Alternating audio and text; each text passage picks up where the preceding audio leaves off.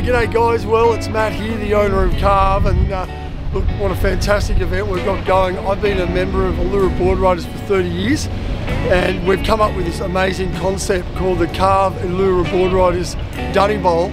And this year's event, we've got uh, a men's and a women's draw, and we've got equal prize money in both. So we've got $3,000 up for grabs, $1,500 in the women's, 1,500 in the men's. First place in each gets $1,000. So plus there's lots of prizes to go around. Really excited. Weather's great, waves are pumping. Awesome day.